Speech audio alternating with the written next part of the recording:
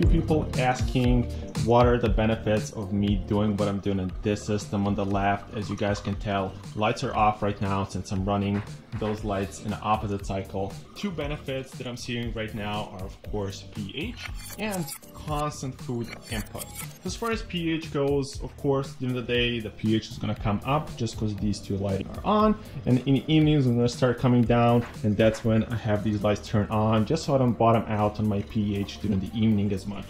And the reason why I decided to do this, since I literally wanted to set up this tank here already, and when I was looking into other things as far as kalkwasser slurry, CO2 scrubbing media, and both of those require either the extra maintenance or extra monthly cost or both.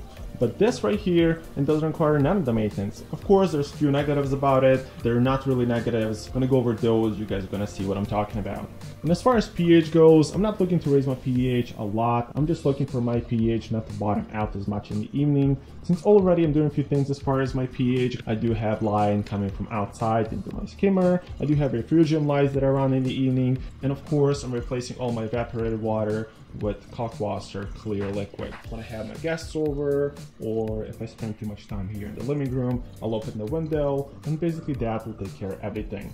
And as far as constant food input, in these automatic feeders over here, I do have different pellets, and I do put some of the coral food in them as well. I do use Benepets, and I do use Reef-Roids as well. In this system, as you guys have seen in my last video, I run none of the filter socks, none of the filter floss.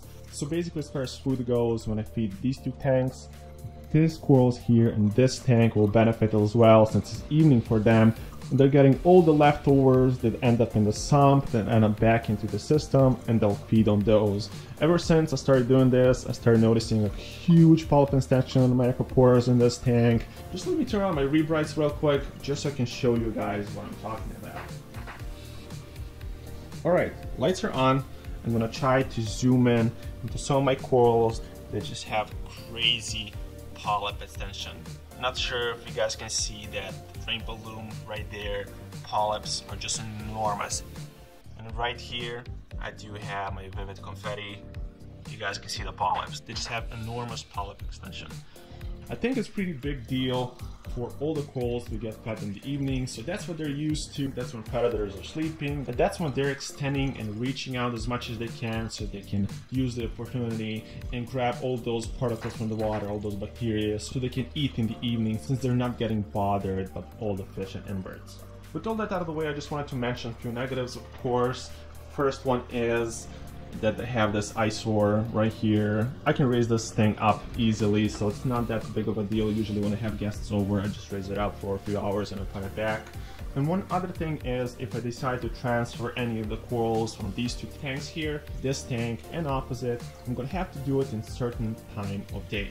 For instance, in the morning before these lights turn on, I can grab any of these corals and transfer them into this system. If I want to transfer these corals to any of these tanks, I'm to do it in the evening, of course. When these lights are just turning on, I can grab any of these corals, move them here, and then these lights will be turning off, these lights will be turning on, and again, they'll just get extra for nighttime, and then next day they'll adjust perfectly fine. And yeah, those are just some things, they're negatives, but they're not really negatives if you think about it. As long as you know what you're doing, you'll do just fine.